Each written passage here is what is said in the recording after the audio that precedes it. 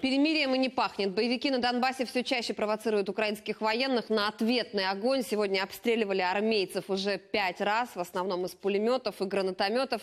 На позициях в районе Авдеевки работал Геннадий Вивденко. Работають активно снайпера. От, були вже у нас раз потери. От, а раз повезло, чисто в каску попав. Каска злетіла.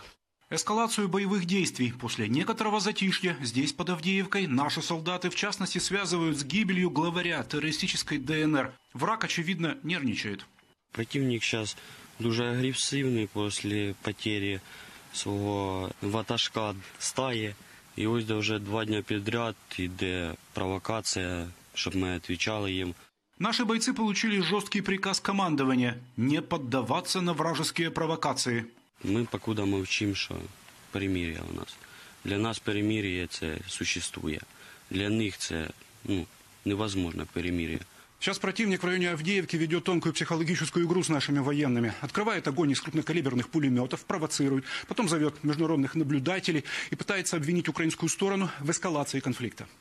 Боевики последовательно пытаются заставить наших солдат открывать огонь и таким образом доказать якобы факты нарушения школьного перемирия с украинской стороны.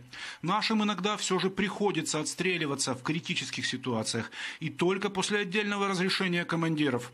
Леонид сегодня ночью погасил огневую точку врага после длительного вражеского обстрела. Была опасность атаки диверсионной группы боевиков. По разрешению раз, так как сильно ответил тогда. Ну, я тут с автомата стрелял. Потом они затихли. Участились их прострелы. Из 14,5 калибра вот вчера стреляли. К нам прилетало. Судьба же 15-го по счету перемирия, достигнутого две недели назад в Минске, у защитников укрепрайона на шахте Бутовка сомнений не вызывает. Опять провокации ждем от них. Чего еще от них ожидать? Мы свое дело делаем, мы стоим на защите, мы не, на провокации их не, не поддаемся. Ну, если попрет противник, мы ему дадим отпор серьезный. Пока же украинские воины тщательно укрепляются на позициях между оккупированными Ясиноватой и Донецком. Геннадий Вивденко, Вадим Ривун, Антон Чиженко. Подробности телеканал Интер из Донецкой области.